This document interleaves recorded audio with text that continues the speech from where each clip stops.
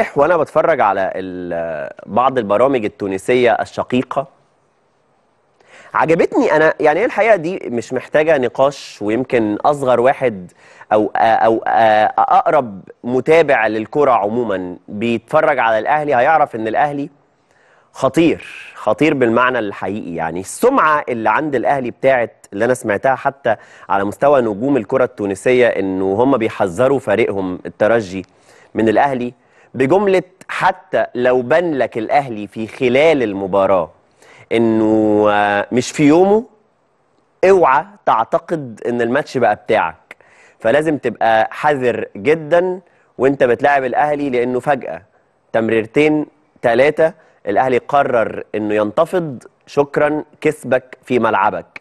السمعة دي من ضمن الحاجات اللي بيعتمد عليها الأهلي في مبارياته الإفريقية والحقيقة إنه دي كمان من ضمن العناصر اللي بتؤدي إلى مرحلة إن الأهلي في الأدوار الإقصائية مختلف عن الأهلي في الأدوار آه، الأولية اللي هي أدوار المجموعات وإن كان النسخة الحالية تحديدا الأهلي من بدايتها وحتى نهايتها لم يخسر بل ونادرا ما استقبل اهدافا. لكن السمعة دي اللي الأهلي عرف يرسخها عبر سنوات إفريقية.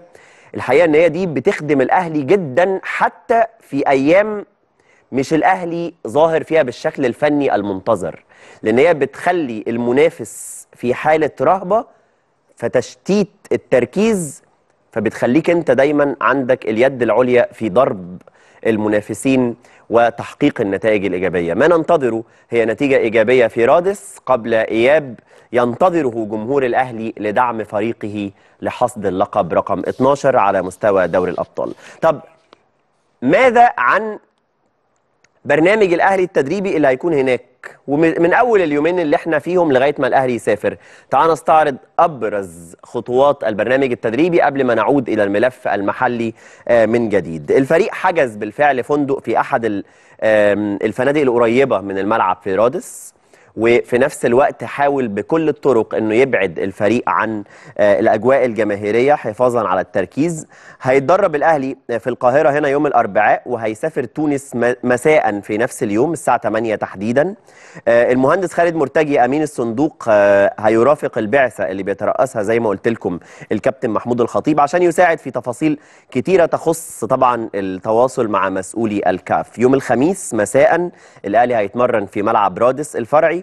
يوم الجمعة هيتمرن على الملعب الرئيسي ويعود بعدها آه، مباشرة يوم السبت بعد ما يلعب المباراة إلى القاهرة استعدادا لمباراة الإياب. بينما اطمأن مارسيل كولر على عبد القادر في آه، وبصحبته الدكتور أحمد جاب الله آه، رئيس الجهاز الطبي في النادي الأهلي عشان يشوف ماشية إزاي عملية التأهيل لكن ما نعلمه إن اللاعب جاهز ولا قلق من جاهزيته في مباراة آه، الذهاب إن شاء الله اللي سافر لها قبل بعثة الأهلي الكابتن خالد بيبو مدير الكرة والكابتن سمير عدلي المدير الإداري خلال الساعات اللي جاية هيكونوا موجودين بالفعل إن شاء الله في تونس